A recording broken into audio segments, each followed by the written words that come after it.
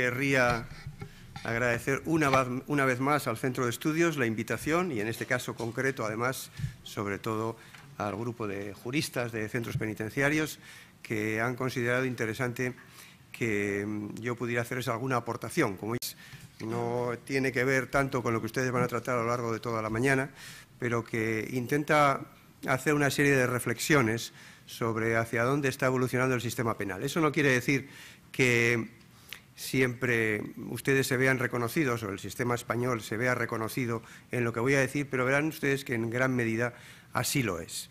Eh, tengo que pedir también disculpas por eh, cómo vengo, con la cara que llevo. Sobre todo pido disculpas a quien tenga que elaborar el vídeo, porque no sé si va a ser capaz de disimular lo que llevo en la nariz. En cualquier caso, no se hagan ustedes muchas ilusiones. Sin el apósito no mejoro mucho más, o sea que en cualquier caso ya puede estar bien así.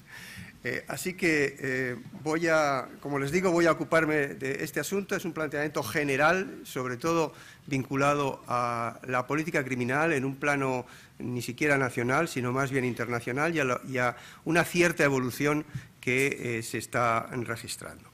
Bien, como ven ustedes, les voy a hablar de que considero que con todos los matices que hay en todos los lugares y también en España, en estos momentos existe la tendencia a pensar que se está abusando del sistema penal. Es decir, hay una cierta idea de que estamos utilizando el derecho penal para demasiadas cosas, que eso está originando eh, muchos problemas. Y para poder valorar esa tesis, creo que lo primero que debemos de hacer es plantearnos eh, una aproximación a cuál es el ámbito legítimo de intervención del sistema penal, porque si no tenemos claro cuáles son los objetivos legítimos, eh, en un planteamiento general político-criminal, difícilmente veríamos también o podemos llegar a la conclusión de si se está abusando o no se está abusando del sistema penal. En ese sentido, me gustaría destacar que en la política criminal mm, actual, el modelo de análisis de los diferentes sistemas político-criminales nacionales eh, anda o se basa fundamentalmente en si esos sistemas político-criminales son más o menos punitivos, más o menos rigurosos. La idea de la rigurosidad del sistema penal es lo que está encima de la mesa en todo el tiempo. ¿Y qué quiere decir esto? ¿Cuáles son los, los elementos que fundamentan esa preocupación por la rigurosidad actual de los sistemas penales?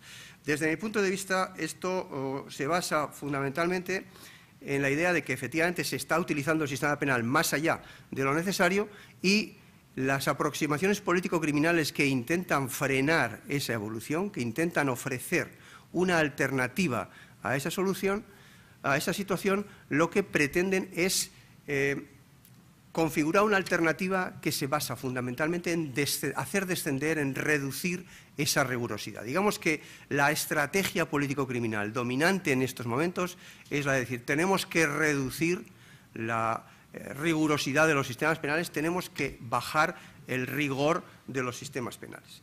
¿Esto qué quiere decir? Esta aproximación político-criminal lo que nos viene a decir es, en primer lugar, que tenemos que intentar actuar sobre conductas, sobre las menores conductas posibles, se está actuando sobre demasiadas conductas delictivas, en primer lugar, y en segundo lugar, una vez que tengamos que intervenir, tenemos que procurar ser lo menos invasivos, lo menos aflictivos respecto a esas personas, porque, insisto, la idea es que nuestros sistemas penales se han convertido en excesivamente rigurosos. Por tanto, la estrategia sería reducir, rebajar penas, no ampliar más eh, las conductas delictivas, tratar al delincuente de una manera eh, menos rigurosa, etc.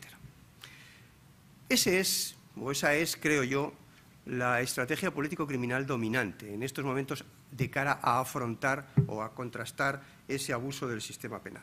Desde mi punto de vista, esa estrategia político-criminal eh, es una estrategia que tiene defectos importantes, a pesar de que no se debe de ignorar que es la que predomina en estos momentos. Predomina por muy diferentes motivos. En primer lugar, porque es cierto que en líneas generales, al menos en el mundo occidental, se han endurecido notablemente los sistemas penales. En segundo lugar, porque también es fácil de recoger adhesiones de cara a desarrollar una estrategia encaminada a bajar esa tensión penal.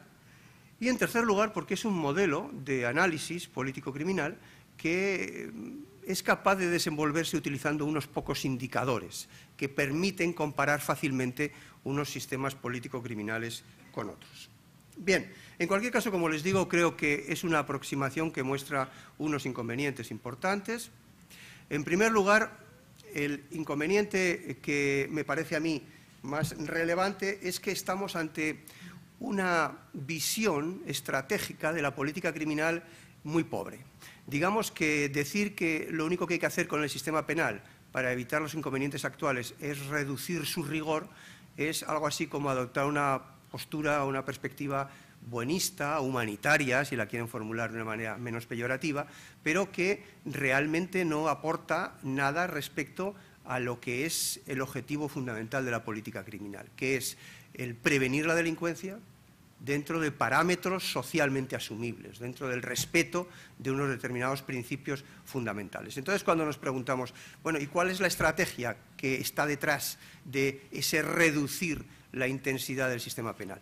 Y uno ve que es una estrategia, como digo, puramente buenista, puramente humanitaria, bueno, vamos a causar menos aflicción, pero, claro, la política criminal y los sistemas penales cuando diseñan un sistema penal, los, sistemas nacionales o los países cuando diseñan un sistema penal están pensando en obtener unos determinados objetivos, como les he dicho, el objetivo de eh, reducir la delincuencia o de prevenir la delincuencia dentro de objetivos de parámetros socialmente asumibles y no parece que simplemente el reducir penas, el reducir conductas delictivas vaya a llevar a resultados mejores y peores. Vamos a reducir el rigor, eso sí, pero poco más.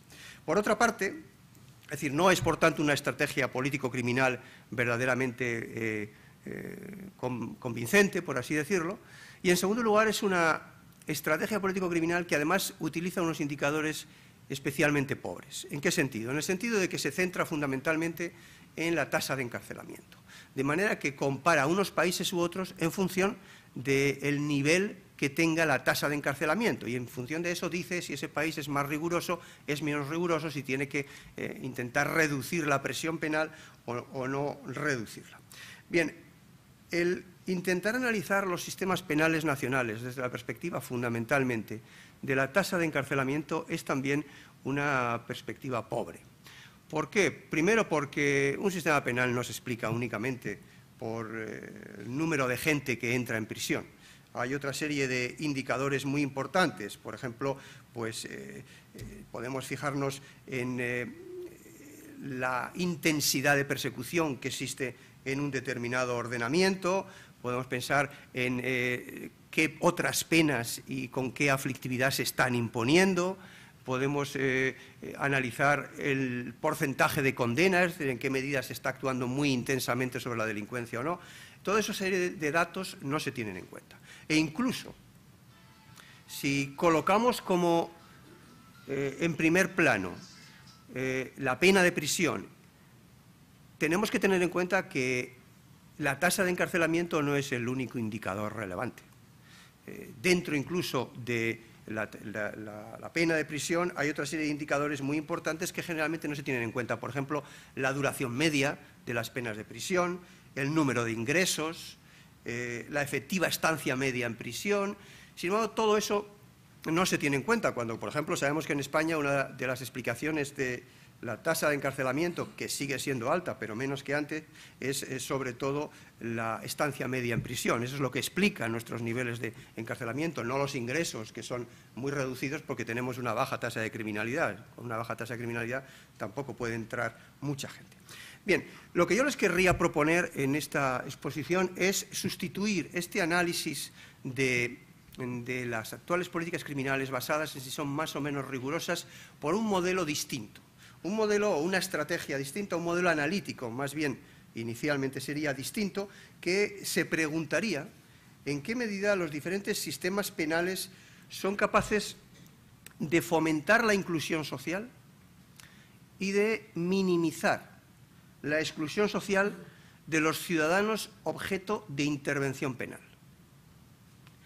Y en este punto me centro fundamentalmente en los sospechosos, los delincuentes, es decir, las personas ya condenadas, y los exdelincuentes. En esos tres colectivos, fundamentalmente, es a los que voy a prestar atención y sobre los que se aplicaría este nuevo modelo, este modelo analítico que yo les propongo de análisis de los diferentes sistemas penales.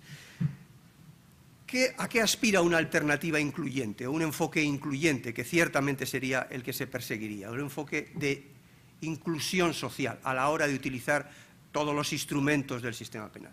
Una alternativa incluyente sería una alternativa que buscaría en primer lugar a la hora de seleccionar las conductas delictivas criterios imparciales, basados en la lesividad del comportamiento, y en segundo lugar buscaría que los sospechosos y los delincuentes, una vez que hayan pasado por todo el sistema penal, por todos los procesos de intervención penal, en mayor o menor medida, se encuentren en condiciones iguales o idealmente mejores para desarrollar voluntariamente una vida conforme con la ley.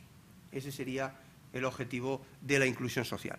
¿Cuál sería la otra alternativa? La alternativa socialmente excluyente.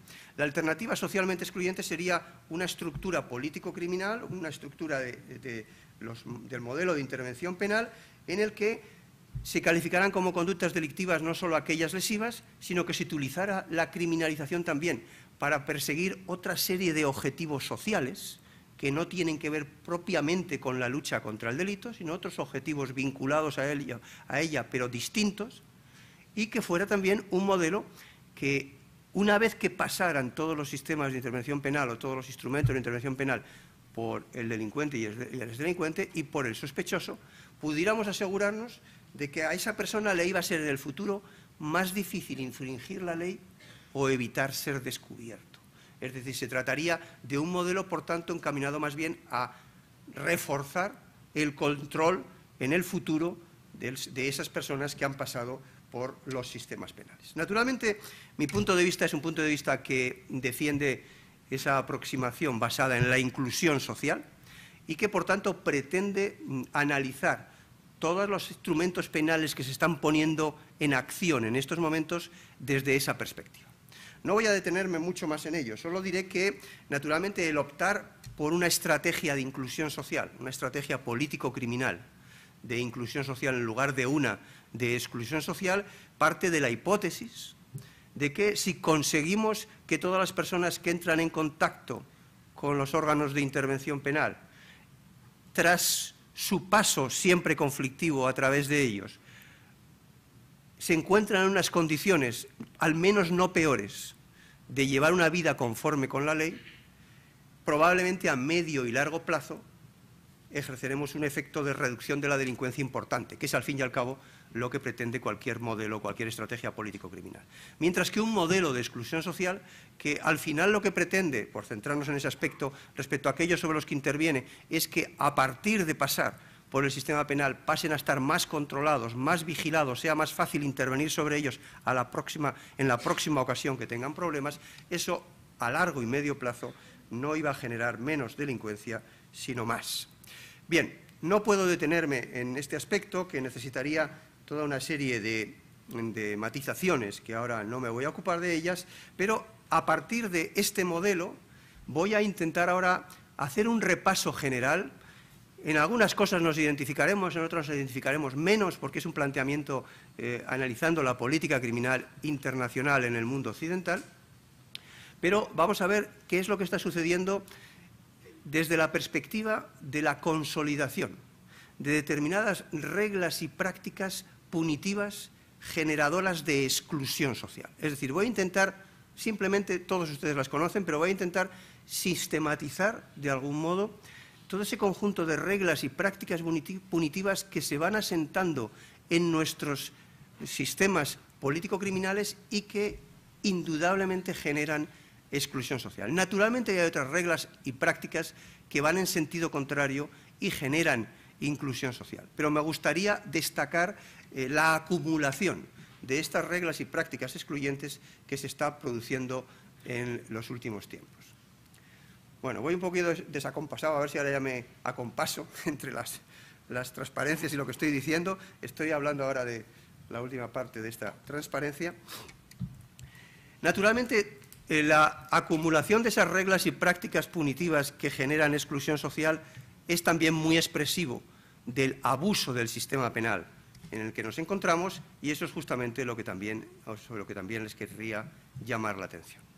Bien, voy a hacerlo en tres grandes bloques. Por un lado será la criminalización, por otro lado la persecución penal y por otra parte la ejecución de sanciones. Empecemos por la criminalización. Bueno, un primer rasgo de la política criminal contemporánea, a mi juicio, es el hecho de que estamos ante una desenfrenada actividad legisladora penal. De tal manera que ese continuo incremento de conductas delictivas, ese continuo incremento de penas, ese continuo incremento de tipos delictivos, difícilmente puede explicarse porque nos encontremos ante una situación eh, de incremento de la delincuencia, al menos en los países occidentales desarrollados, de una necesidad de mayor intervención penal porque cada vez hay más delitos, sino que más bien la impresión que uno tiene es que se está utilizando la legislación para perseguir otros la legislación penal para perseguir otros fines que no tienen nada que ver o tienen poco que ver con la prevención de la delincuencia. Se persiguen otros objetivos a través de la intervención penal.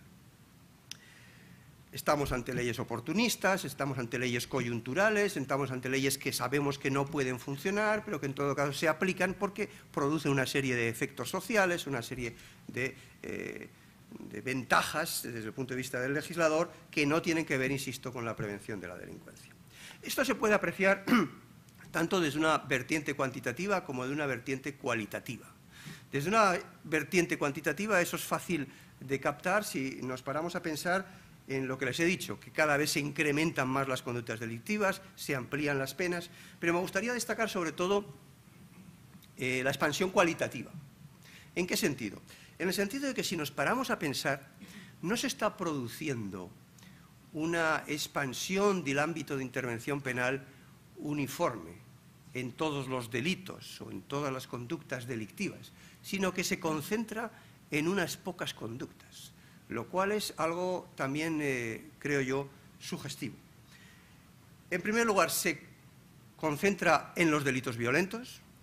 Está claro que nuestra sociedad tiene cada vez menos tolerancia hacia las conductas violentas y se concentra en los delitos violentos, entre los cuales incluyo muchas clases, por supuesto también las conductas terroristas, pero eso en volumen es lo de menos.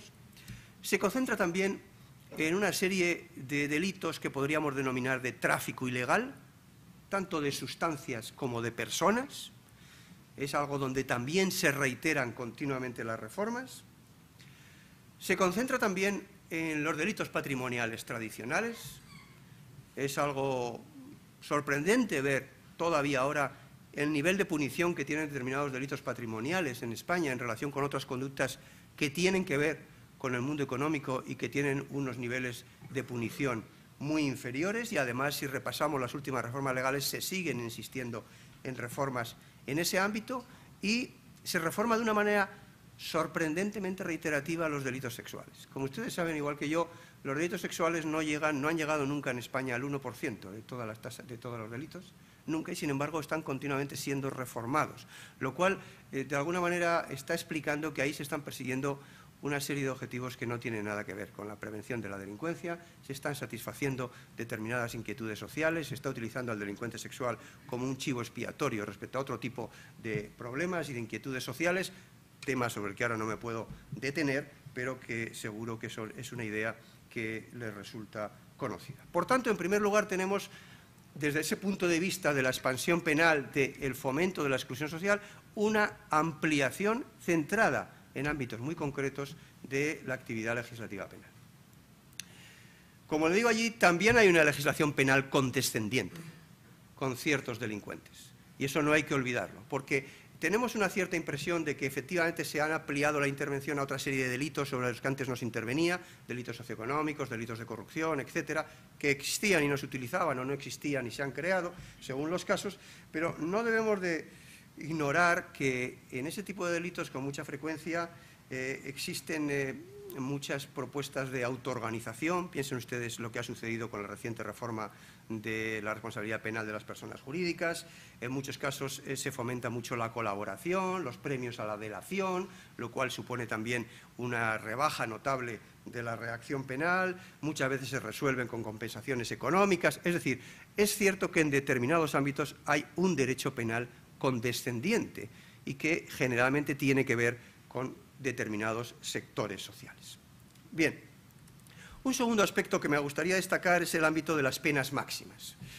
Es cierto, y conviene destacarlo porque es un avance notable, que la pena de muerte está en retroceso en todo el mundo y que los organismos internacionales, regionales e internacionales están cada vez más eh, enérgicos en este sentido, pero me gustaría destacar que eh, las penas de prisión muy largas no están en retroceso, ni mucho menos.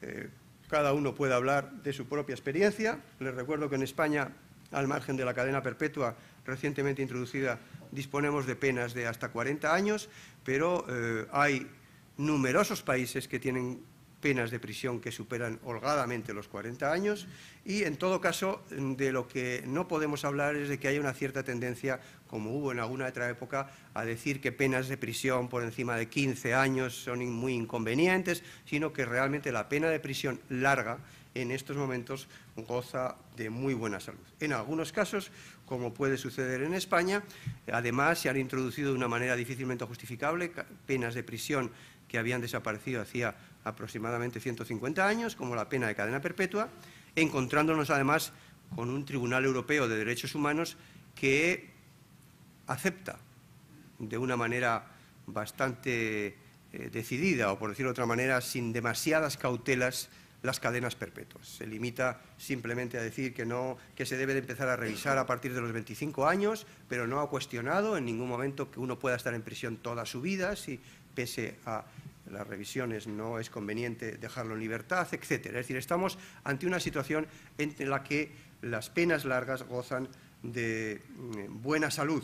Naturalmente las penas largas no se pueden justificar desde el punto de vista del principio de proporcionalidad, desde el punto de vista del principio de la resocialización, es puramente penas inocuizadoras. La pretensión de decir que a través de una cadena perpetua que se puede revisar a los, 25 años estamos fomentando eh, la motivación hacia la resocialización de los delincuentes es algo eh, bastante ingenuo. A una persona, ustedes lo saben mucho mejor que yo, que tiene por delante todo ese periodo de tiempo antes de que se le puedan empezar a revisar las condenas, en el mejor de los casos los 25 años, porque a veces es más tarde, pues evidentemente la motivación para la resocialización es muy escasa.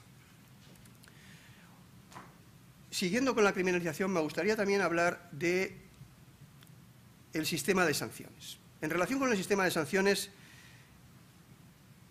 me gustaría decir que al margen de la consolidación de las penas largas de prisión, hablando ahora de la pena de prisión en general, creo que ustedes coincidirán conmigo que a pesar de todo el desarrollo de penas alternativas, de penas comunitarias, eh, resulta muy optimista decir que la pena de prisión está eh, en descrédito o que, bueno, lo de descrédito quizás lo esté, porque lo ha estado siempre, pero que esté reduciéndose, es decir, que se esté utilizando menos de lo que eh, se utilizaba antes. Yo creo que la pena de prisión en estos momentos está muy asentada en los sistemas penales del mundo occidental desarrollado y que, eh, como he dicho anteriormente, no solo se están elevando los límites máximos de la pena de prisión, sino algo también muy interesante, se está generalizando cada vez más, y eso en países que tienen un prestigio como progresistas notable en el ámbito de la política criminal, se está generalizando cada vez más el empleo de las penas cortas de prisión. Penas cortas de prisión que en un momento determinado estaban desacreditadas por el efecto desocializador que, que producían y que en estos momentos se están, por ejemplo, en los países nórdicos, impulsando de una manera decidida, pensando que tiene un efecto intimidatorio eh, significativo, naturalmente en centros penitenciarios bien organizados, y que, por tanto, no solo no se debe renunciar a ellas, sino que hay que fomentarlas, y se está haciendo así.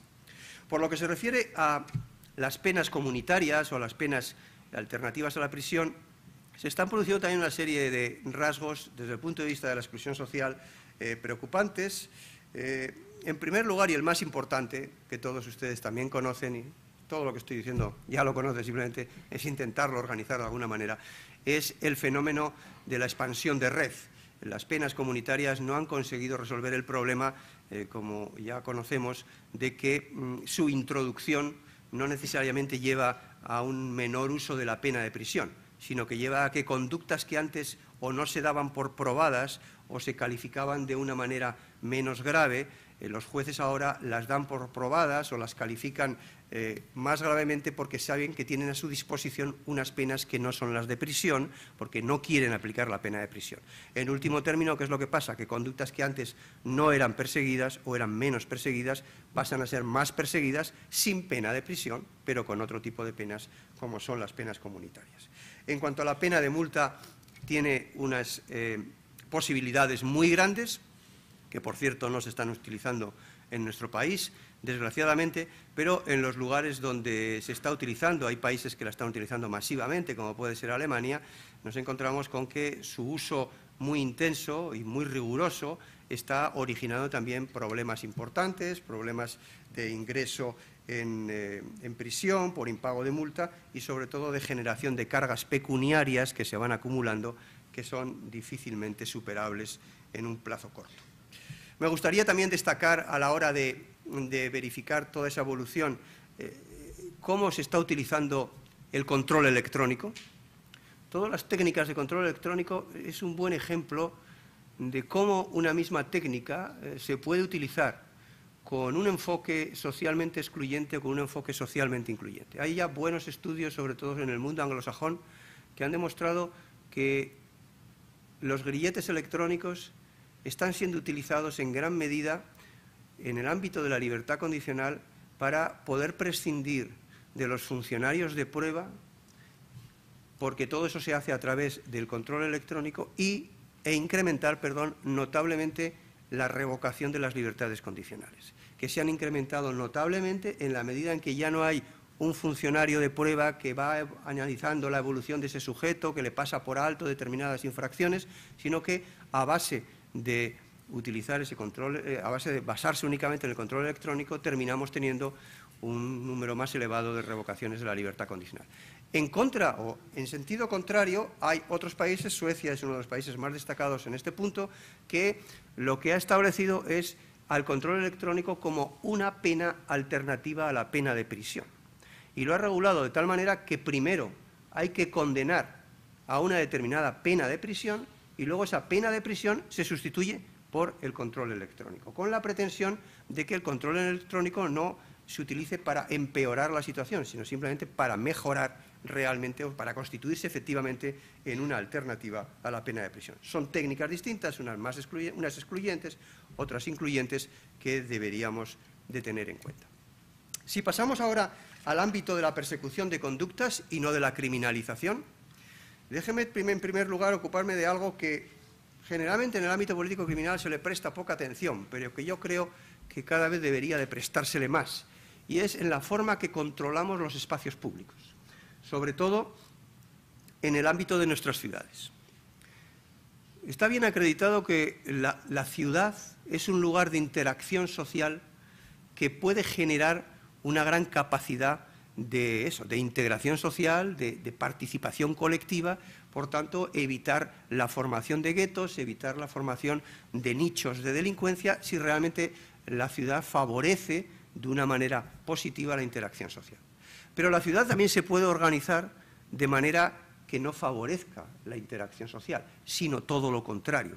Y eso lo que desencadena es efectivamente unos eh, niveles o unos nichos de exclusión social cada vez más importantes. Y lo significativo en estos momentos es que cada vez más se están desarrollando técnicas de control de espacios públicos que fomentan la exclusión social dentro de la propia ciudad.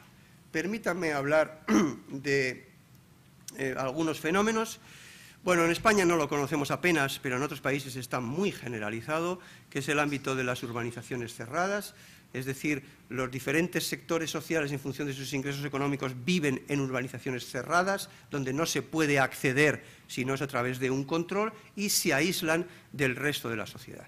Hay eh, ámbitos en Estados Unidos, en Iberoamérica, donde eso está extremadamente generalizado y está dando lugar a una compartimentación de las ciudades, donde ya se está frenando la interacción social con todos los efectos de exclusión social que eso conlleva. En otros lugares europeos lo que se produce es algo, un fenómeno eh, menos intenso, pero que también refleja una situación parecida, como es la del aburguesamiento de determinados barrios lo que las personas que no se molestan en traducir del inglés ahora llaman gentrificación. Es decir, gentrificación, el aburguesamiento de determinados barrios, de determinados barrios que por los motivos que sea se ponen de moda, empiezan a construirse viviendas de determinado nivel y empiezan a expulsar a los que allí vivían porque no pueden afrontar el nuevo nivel de vida que se instala en el barrio. Esto es algo que, si ustedes se paran a pensar, cada vez más se está produciendo en nuestras ciudades y está segmentándolas de una manera distinta y menos intensa que con las urbanizaciones cerradas, pero también se está produciendo. Eh, políticas de hace décadas que intentaban colocar, construir las viviendas de protección oficial por diferentes lugares de la ciudad, de tal manera que se interactuara con otros barrios, esas políticas ahora mismo son indefendibles.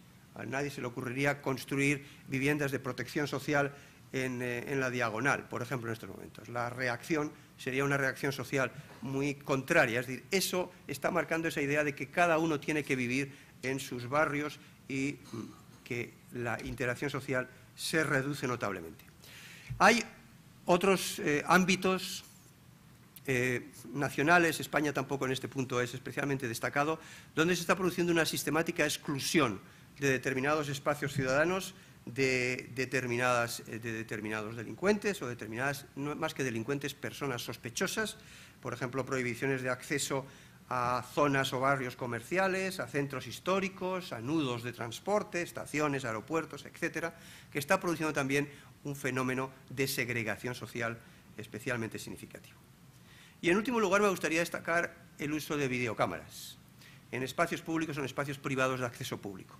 En Europa, gracias a una directiva de la Unión Europea, el uso de las videocámaras en espacios públicos está muy restringidas, ya no en espacios privados de acceso público, que antes también lo estaba, y como podemos ver, cada vez con más frecuencia nos movemos en espacios ciudadanos donde estamos en todo momento siendo vigilados. Eso supone eh, quizás unos efectos positivos desde el punto de vista de la persecución del delito, pero también eh, una desconfianza hacia el ciudadano, que se encuentra en todo momento con la sensación de que es vigilado, que tiene unos efectos mm, en su relación con los poderes que se encargan del control social penal muy significativo. Las garantías penales. Bueno, no voy a detenerme ahora porque no hay tiempo en el ámbito de, o en el hecho de que, o en recordar el hecho de que el derecho penal se construyó basado en una profunda desconfianza hacia los poderes públicos. El conjunto de garantías del derecho penal es un conjunto de garantías que está establecido para proteger al ciudadano sospechoso, al ciudadano delincuente, porque los poderes públicos, utilizando los instrumentos del derecho penal, pueden ser especialmente invasivos y hay que precaverse respecto a eso.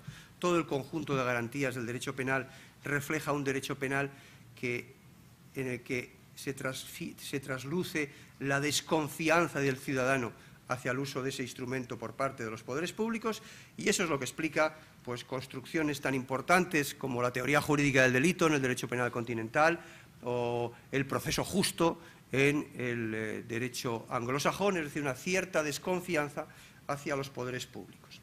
Bien, esto en estos momentos también está siendo afectado de una manera notable. Cada vez más eh, parecemos dispuestos a renunciar a determinadas garantías penales a cambio de conseguir una pretendida eficacia en la persecución penal y eso se refleja también en muy diferentes ámbitos que ahora solo puedo de una manera muy breve mencionarles. Piensen ustedes, por ejemplo, la frecuencia, sobre todo en instrumentos internacionales que luego se transfieren a los ordenamientos nacionales, la frecuencia con que se están configurando conductas delictivas en la que desaparecen distinciones tan importantes como las que existen entre consumación y tentativa, entre autoría y participación, hay cada vez más tipos de penales en los que eso es cada vez más difícil, donde se construyen o se hacen configuraciones delictivas centradas todas ellas en el ámbito de la preparación del delito. Piensen ustedes en el uso continuo que se está haciendo ahora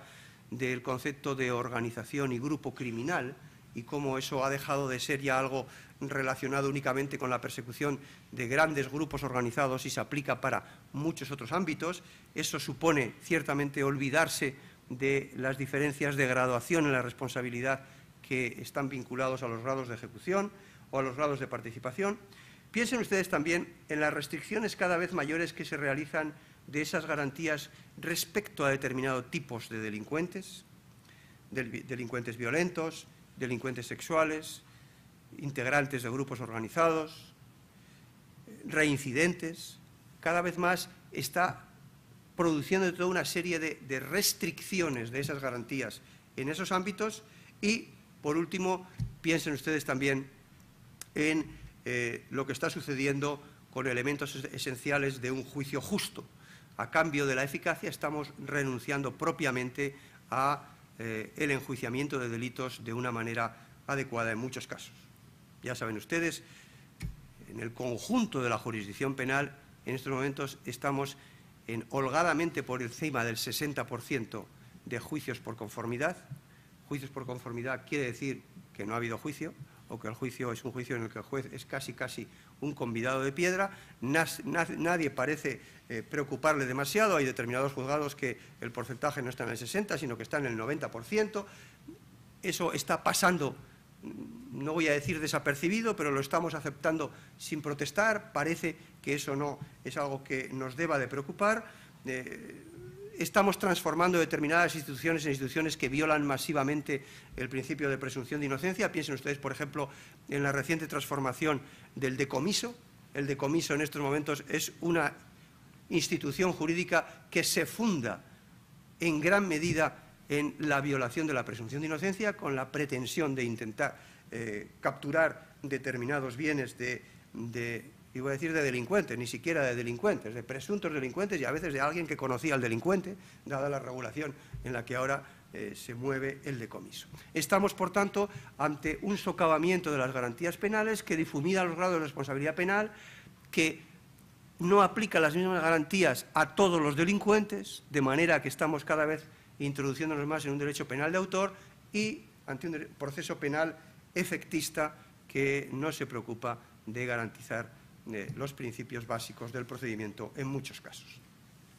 En el ámbito de la justicia juvenil también nos estamos encontrando con fenómenos de gran interés. En primer lugar, me gustaría decir que, ya lo saben ustedes, estábamos en un modelo tutelar, ese modelo tutelar de menores se abandonó porque se planteó que eh, con ese modelo no se respetaban adecuadamente las garantías individuales de los menores, ya sabemos eh, todo ese proceso, se anuló la ley de mil, eh, se declaró inconstitucional la ley eh, española, tuvo que aplicarse a prisa y corriendo, crearse otra ley, hasta que finalmente apareció la ley penal del menor. Eso apareció, sucedió en muchos países. Se intentó crear un proceso penal, una, una justicia juvenil que respetara las garantías individuales. Se abandonaron las aproximaciones paternalistas, todo eso estaba muy bien, pero lamentablemente todo eso fue coetáneo a un endurecimiento del sistema penal en general, a, una consolidación de la aproximación rigorista y eso repercutió inmediatamente sobre el derecho penal juvenil. De tal manera que en estos momentos nos encontramos con un derecho penal juvenil que, a cuenta de garantizar las garantías individuales del menor, lo que está sufriendo es una paulatina equiparación al derecho penal de los adultos, en muchos ámbitos con graves problemas. En este sentido, eh, me permito recordarles no solo eh, la discusión sobre los límites de edad, hay iniciativas legislativas en todos los países en una dirección o en otra, eh, intentos de rebajar la edad penal para que puedan ser juzgados por el derecho penal de adultos, intentos de rebajar la edad juvenil para que puedan ser atendidos por la ley penal del menor menores, en este caso de 14 años. Ya saben ustedes que hay presiones en ambos sentidos. Se pueden citar varios países que en estos momentos están metidos en este asunto. En España, sobre todo, a partir de determinados grupos de la Fiscalía, continuamente se está planteando la conveniencia de rebajar la edad de la responsabilidad de los menores para aplicar la ley del menor por debajo de los 14 años. De hecho, no les habrá pasado a ustedes desapercibido que a través de determinadas reformas, ahora en protección, no en reforma de menores, en protección, se pueden realizar internamientos desde el año 2015. Es decir, se está produciendo toda una serie de movimientos de cara a endurecer el sistema de menores y eso también se refleja en muchos países, no es el caso de España por el momento, en la posibilidad, lo que los anglosajones llaman el waiver, es decir, la posibilidad del juez de menores de que, dada la gravedad de la conducta realizada por el menor, renuncie a la jurisdicción penal y remita al menor a la jurisdicción de adultos, algo cada vez más frecuente. Ya se han oído voces en España para que introduzcamos esa regulación. Nos hemos olvidado de los semiadultos, es decir, los menores entre bueno, los, mayores entre 18 y 21 años, que con el Código Penal de 1995 queríamos darles un régimen especial. Eso ya se ha abandonado en España y en otros muchos sitios.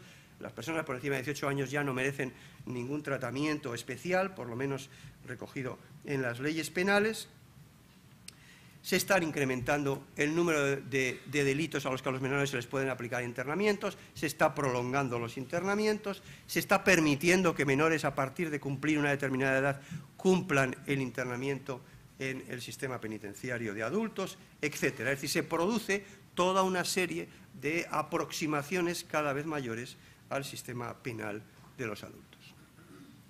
Y el tercer, perdón, todavía me falta algún asunto más, pensaba que ya pasaba al siguiente. Otro tema también interesante tiene que ver con la determinación de la pena. Estamos ante unos sistemas penales que están haciendo un uso decidido de las agravantes de reincidencia y de reiteración. Recuerden que hubo un tiempo en el que se cuestionó la agravante de reiteración. Algunos ordenamientos jurídicos la eliminaron, otros la consideraba una agravante facultativa.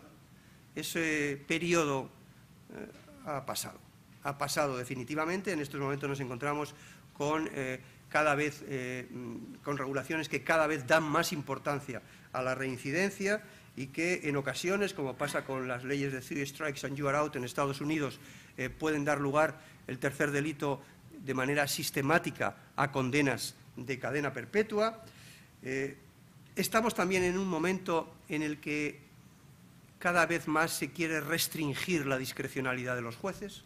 No nos fiamos de los jueces. Yo siempre digo que a veces se analizan las últimas reformas penales teniendo en cuenta si se han elevado las penas, si se han ampliado los delitos. Yo creo que un criterio muy significativo para analizar el significado de las reformas penales recientes es ver cuántas veces se han elevado los límites mínimos de los marcos penales.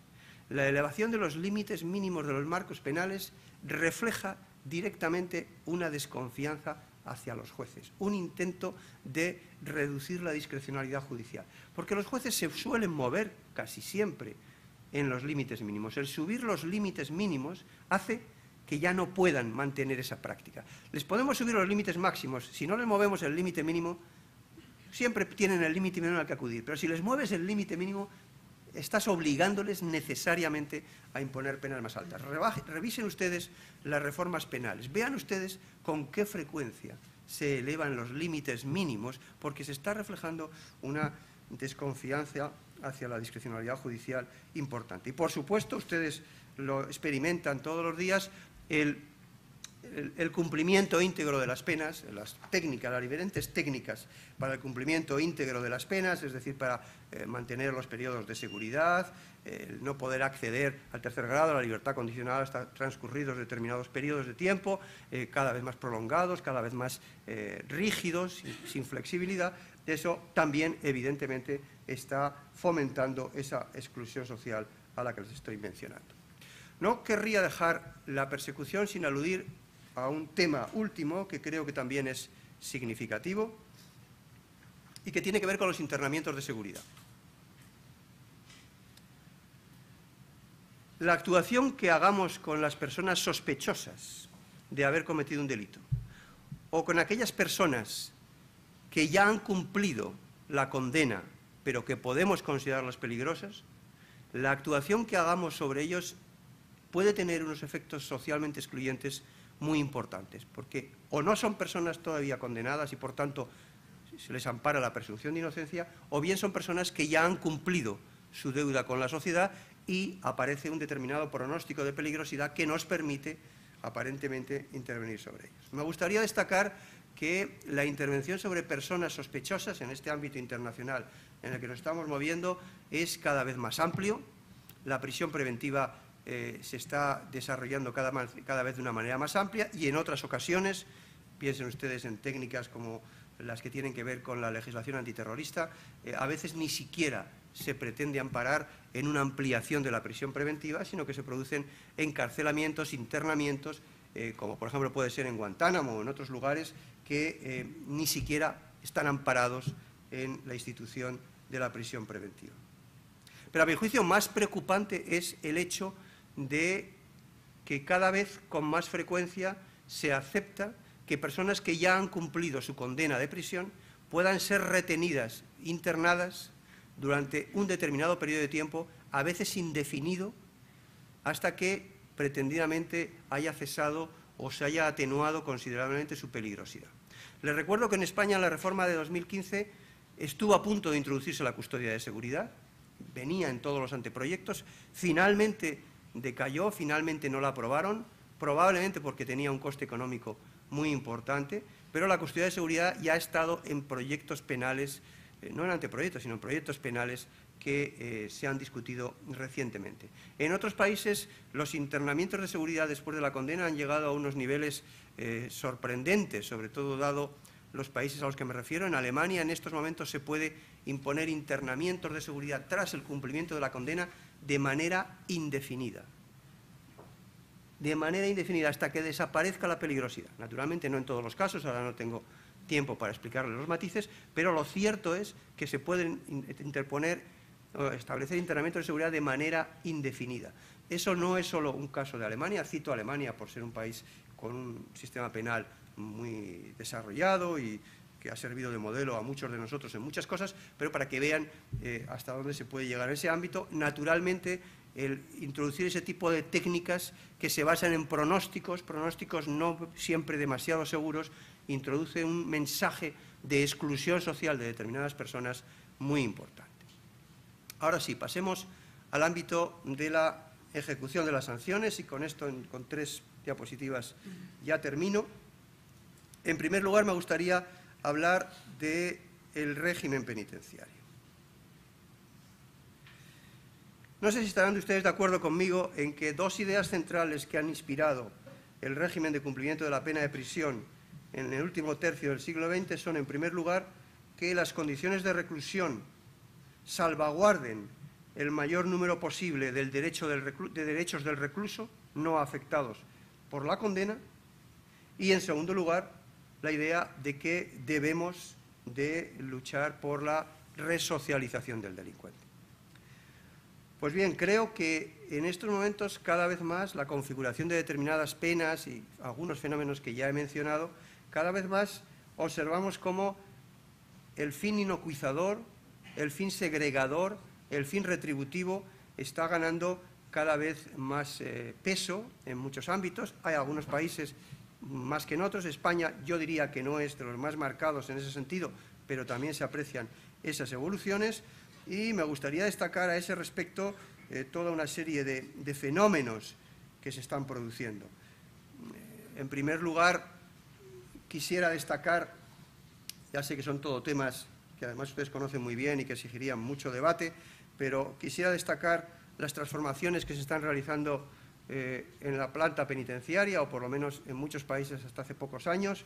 Eh, en primer lugar, la construcción de prisiones cada vez más grandes, con las consecuencias negativas que eso conlleva para las condiciones de vida, la eh, aceptación de las prisiones privadas. Nosotros no tenemos prisiones privadas, pero hay demasiados vigilantes de seguridad cada vez en las prisiones, por lo menos en las que tienen en las que están eh, bajo el control del Ministerio del Interior. Ya saben ustedes que hay perímetros de prisiones que ya están vigilados por vigilantes de seguridad en España. Eh, nos encontramos con cada vez la mayor eh, frecuencia de prisiones de alta y altísima seguridad. Nos estamos encontrando también en muchos países, insisto, España no es el más destacado de ellos, con problemas de hacinamiento. No sé si conocen ustedes lo que ha sucedido en el 2012 en California, donde debido a, una determinada decisión del Tribunal Supremo de California han tenido que proceder sistemáticamente a eh, vaciar prisiones porque el nivel de hacinamiento había sido tan alto que se estaban atentando de una manera masiva a los derechos del recluso. Hubo una serie de, casos presentados entre el, el, Tribunal Supremo de California y finalmente decidió que había que sacar a la gente de las prisiones. En otros lugares donde no tienen todos esos medios, como puede ser Estados Unidos, lo que hacen, como por ejemplo en ciertos países de Latinoamérica, demasiado numerosos todavía, que realmente el interior de las prisiones está controlado, como ustedes bien saben, por los propios internos. Se está produciendo también una eh, reducción de los derechos de los internos en muy diferentes ámbitos, no me quiero detener mucho en ello porque ustedes ya lo saben, pero hay un empeoramiento intencional de las condiciones de vida en determinados países. Estados Unidos en ello es un ejemplo muy significativo. No sé saben ustedes que hay prisiones estadounidenses donde se les da lo que llaman el meal es decir, una alimentación que eh, no tiene, que tiene, que satisface todos los requerimientos energéticos, pero que no tiene ningún sabor. De tal manera que la pretensión es que el interno no, disfrute ni siquiera de la comida. De tal manera que eh, se da una comida totalmente insípida, que naturalmente les va a mantener eh, con vida y perfectamente porque cumple todos los requisitos, pero en todo caso sin ningún tipo de, posibilidades de disfrutar incluso con la comida. Bien, ese es un ejemplo entre otros muchos. En Estados Unidos se ha registrado en los últimos años, ahora están un poco retrocediendo en esa evolución, un empeoramiento intencional de las condiciones de vida en la prisión, porque se considera que eran demasiado cómodas para los internos y había que eh, empeorarlas. Por ejemplo, se han restringido eh, también la higiene. Hay determinadas prisiones que eh, no se puede ducharse más que una vez a la semana. Es decir, se ha creado toda una serie de obstáculos para que las prisiones sean más duras. Y naturalmente, y eso, de eso sí que podemos hablar también en España, tenemos la crisis de la libertad condicional. Nuestros niveles ya sé que eh, se están incrementando en los últimos años, dentro de hace dos o tres años, tanto en Cataluña como en el resto de España, pero los niveles de concesión de la libertad condicional son eh, notablemente bajos. Eso mm, es algo de difícil comprensión bueno, sí que se puede comprender. De hecho, no lo comprendemos muy bien. Si, les digo, si les, soy sincero, hace poco tuvimos un debate sobre eso, no entendemos muy bien por qué se dan tan pocas libertades condicionales. Pero lo cierto es que se dan muy pocas libertades condicionales, lo cual también es algo que realmente repercute notablemente sobre eh, la calidad del régimen penitenciario. Permítanme dos diapositivas más exclusivamente, una sobre el estatus de delincuentes y exdelincuentes. En este sentido, querría llamarles la atención sobre el hecho, también en España se están registrando todavía de una manera muy limitada, pero ya veremos cómo evoluciona esto, eh, eh, fenómenos en este sentido, y es que se está produciendo cada vez más una mm, cada vez más amplia privación de derechos políticos, civiles y sociales a condenados y excondenados. Me refiero a que se les privan de derechos que no están ligados a su condena, no están ligados tampoco a la naturaleza del delito cometido y ni siquiera están ligados a consideraciones de peligrosidad constatadas, sino que simplemente por el hecho de haber realizado un determinado delito, a veces no hace falta que sea de una determinada clase, se procede a toda una privación de derechos adicionales que muchas veces se privan ni siquiera por las autoridades jurisdiccionales, sino por autoridades administrativas. Este fenómeno, el de las llamadas sanciones colaterales o sanciones adicionales, es un fenómeno que tiene una gran importancia en muchos países y que poco a poco se va extendiendo a otros países. Por ejemplo, es frecuente en diferentes ordenamientos jurídicos que el condenado y el excondenado quede privado del derecho de sufragio activo, del derecho de votar, pero además queda privado en numerosos lugares de por vida, en otros lugares por bastante tiempo después de haber terminado de cumplir la condena. En Estados Unidos hay millones de personas privadas del derecho de sufragio activo por este motivo. De tal manera que ha habido estudios, estimaciones, que han afirmado, tampoco me puedo extender sobre ello, aunque son muy interesantes, que han demostrado cómo eh, determinadas elecciones ya están afectadas por el hecho de la gran cantidad de personas que no pueden votar por tener antecedentes penales. los resultados electorales hubieran sido distintos a nivel nacional y a nivel estatal. Eh, aquí tenemos otro tipo de privaciones de derechos políticos que pasan desapercibidos, pero que es muy importante. Ahora podemos expulsar a los extranjeros residentes legales. Eso es una privación de un derecho político como una casa. Te han dado la residencia, no eres ilegal y te expulsan o te pueden expulsar por el mero hecho de haber cometido un delito, un tratamiento claramente discriminatorio respecto al resto de nacionales. En otros lugares se priva de la elegibilidad para ser jurado, en fin, hay una serie de privaciones de derecho importantes. Pero hay también privaciones de derechos civiles significativos. Bueno, privaciones de derechos civiles, nosotros ya los conocemos también.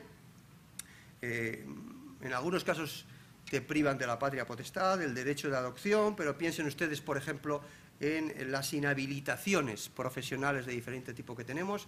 No estoy, hablando de esas inhabilitaciones que tienen que ver con el delito y que pueden ser la pena por el delito, estoy hablando de inhabilitaciones, privaciones de acceso a determinados empleos por el mero hecho de haber eh, cometido un delito. Esto es algo que eh, se está generalizando cada vez más y que, eh, naturalmente, desde el punto de vista de la exclusión social, como ustedes se pueden imaginar, tiene unos efectos muy negativos. Les recuerdo que en estos momentos en España ya los delincuentes sexuales tienen vedado el acceso a un gran número de eh, empleos, todos aquellos que tengan que ver con menores. En otros países empezaron así. Ahora ya eh, hay otra serie de delincuentes que, que debido a que han actuado en un ámbito determinado ya no pueden realizar otro número de profesiones muy amplio. Esto es algo que cada vez se está ampliando más, que a veces procede no de decisiones de los jueces, sino de decisiones de naturaleza puramente administrativa y hay que tener en cuenta. Y naturalmente también tenemos los derechos sociales. Derechos sociales que, como eh, la elegibilidad para obtener subsidios sociales, para permanecer en viviendas públicas, obtener viviendas públicas, para lograr ayudas educativas, también cada vez son más eh, o están más generalizados. Para terminar, solo eh, quiero referirme ahora a los antecedentes policiales y penales. Aquí estamos también ante un fenómeno, eh, aquí hay algunas personas, concretamente Elena Larrauri, que lo ha trabajado muy a fondo, afortunadamente, aquí en España, pero me gustaría llamar la atención sobre el hecho de que debemos de prestar más atención a lo que está sucediendo con los registros policiales y penales, porque tienen un efecto socialmente excluyente cada vez mayor. Piensen ustedes que cada vez hay más registros, ya no solo registros penales, hay registros administrativos, hay registros de inteligencia, que se están, la última reforma del 2015 es un buen ejemplo, se están ampliando los plazos de prescripción de los delitos y, por tanto, también posteriormente la de la cancelación de los antecedentes penales, que cada vez es más difícil proceder a la cancelación de antecedentes penales en muchos países, sobre todo que los antecedentes penales son cada vez más accesibles a todo el mundo. Me gustaría, eso, en algunos países los antecedentes penales son datos públicos, accede todo el mundo. De hecho, hay eh, determinados lugares donde los propios tribunales tienen que colgar en Internet los antecedentes penales para que estén a disposición de todo el mundo.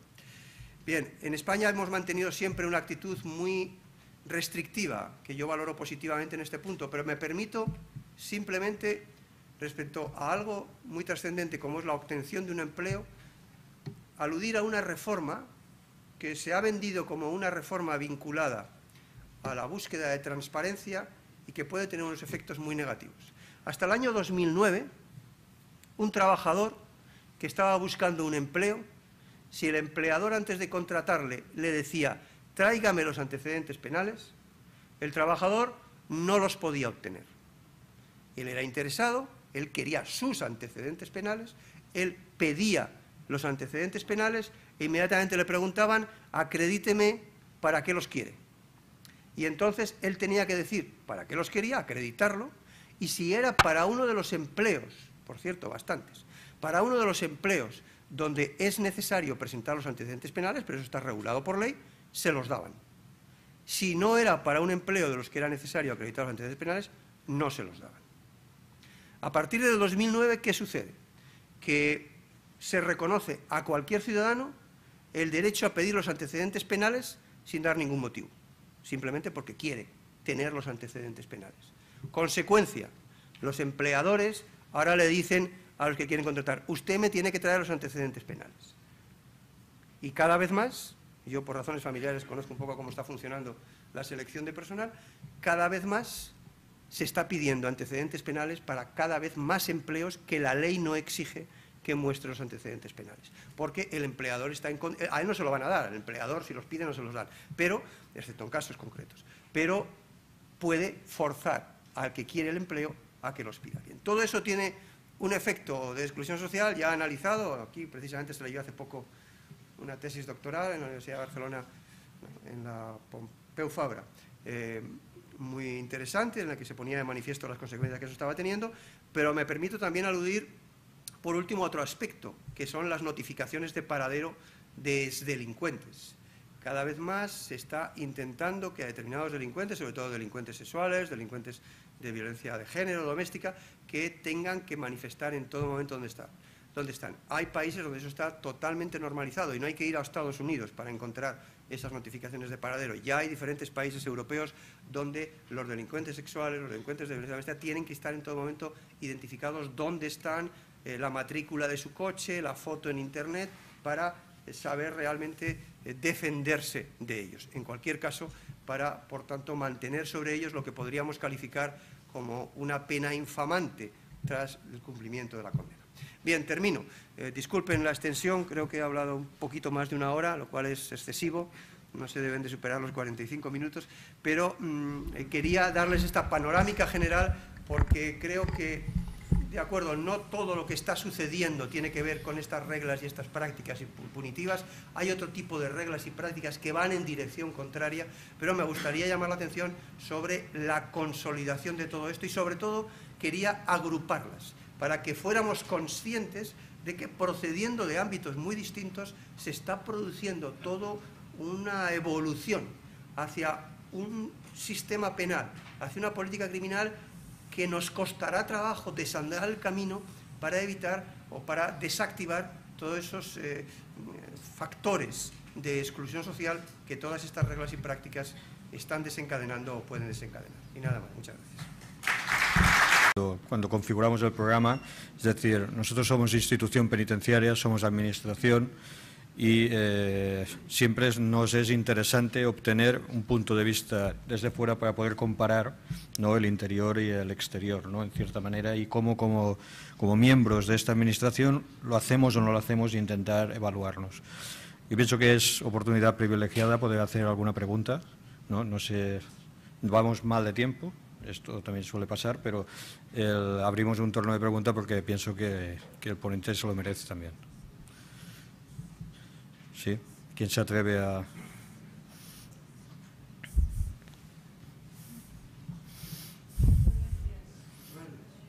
En Bataller, abogada especializada únicamente en Derecho Penitenciario. Y bueno, ante todo felicitarle porque ha sido una charla altamente gratificante. Sí que hay una gran diferencia en que se nota que usted no está fuera de Cataluña. El ámbito de prisiones nuestro es totalmente diferente a todo lo que se acostumbra a ver, porque nosotros es al contrario, cada vez estamos más en pro del derecho del interno, cada vez se le facilitan más todas las, todo cuanto está en mano de la Administración para que las penas se puedan cumplir y se puedan cumplir de una manera digna y efectiva. Me ha chocado mucho el tema de las penas cortas, que si no me ha parecido entenderlo mal, usted ha dicho que la tendencia cada vez es más a volver a las penas cortas. Nosotros aquí tenemos, estamos intentando un protocolo para que las penas cortas no se lleguen a cumplir, sino que directamente se, entre, se clasifiquen en un centro abierto y aquella persona no tenga que cortar ni con su trabajo ni con su familia, porque se da la paradoja que está entrando gente en prisión de temas de hace 10 años con una condena de dos años que está totalmente rehabilitada, que tiene todas las condiciones, está trabajando, pues, por ejemplo, en un banco, que es un lugar muy susceptible de que ocurra pues, que, lo echen a la calle porque eh, se enteren. Está dos meses en prisión. Es una clasificación inicial en tercer grado porque está muy clara en todos los profesionales. Lo tienen claro desde el primer día, desde la comisión territorial, que ya hacen todas las... Hay unos profesionales buenísimos que se vuelcan en todo lo que es el tratamiento. Claro, en dos meses no hay tiempo de tratamiento porque no da lugar. Y sin embargo sí que da lugar a que este hombre pierda su trabajo, pierda su, incluso a veces el matrimonio se separa, porque a lo mejor la mujer ni lo sabía que esta persona tenía esto pendiente. Hay un rompimiento laboral y familiar, cuando en realidad el resultado se sabe, porque previamente se, eh, se han preocupado los profesionales de averiguar que esta persona es digna de obtener un tercer grado. Por tanto, creo que la tendencia, por lo menos en Cataluña, es a eliminar el cumplimiento de las penas cortas. También entiendo que el tema de la rehabilitación y resocialización a nosotros nos interesa muchísimo más que la seguridad. Bueno, no, es que ahora quiera hacer aquí una defensa ultranza, pero que todo lo que usted ha comentado, que entiendo que debe ser de prisiones fuera de Cataluña o en el extranjero, porque realmente mm, estas restricciones de derechos de los internos mm, no se dan. Al contrario, yo creo que cada vez se trabaja más en pro del interno, incluso en contra de, la, de los propios, yo no soy funcionaria, ¿eh? en, propio en contra de los propios funcionarios que tienen que pasar por situaciones incluso a veces peligrosas para ellos pero siempre para dar, para entrar en el tema de rehabilitación y nunca eh, hacer que la pena se agrave mucho más. Muchas gracias.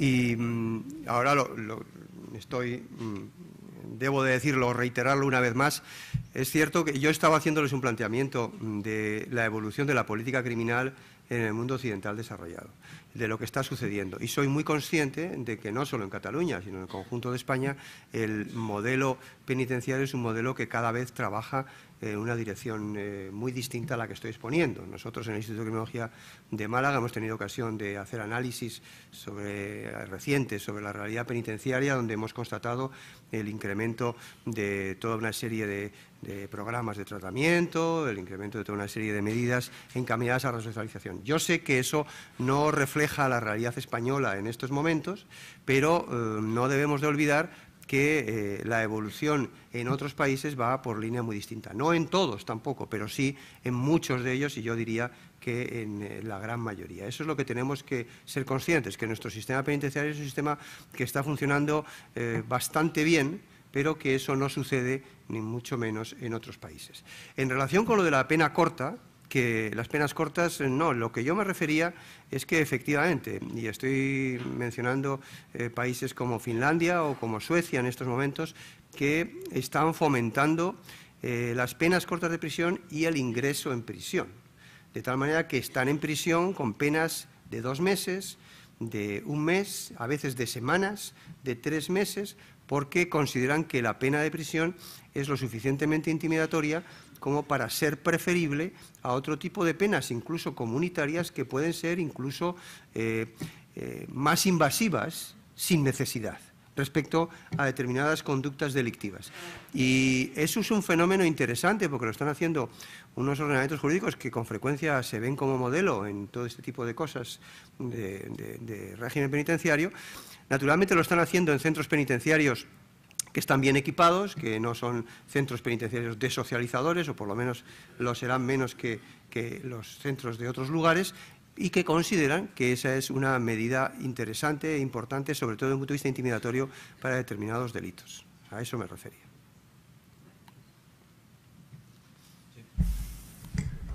Mi nombre es Sergi, soy jurista de la prisión de Puig de las Basas. Y dos cuestiones. En primer lugar, mm, coincido con usted en cuanto a las sentencias de conformidad. Creo que que tiene su peligro las sentencias de conformidad, porque muchas veces por cuestiones prácticas, sea por el abogado, sea por el juez o por el propio acusado, se avienen a la conformidad. Y creo que aquí una función muy buena sería que el juez, ante la lectura al acusado de los hechos del Ministerio Fiscal, ante el menor atisbo o duda que pusiese el acusado, pues ir a celebrar juicio a los efectos de que tuviese derecho a un juicio justo. Eso es lo que creo que debería ir así y creo que muchas veces eso no se hace.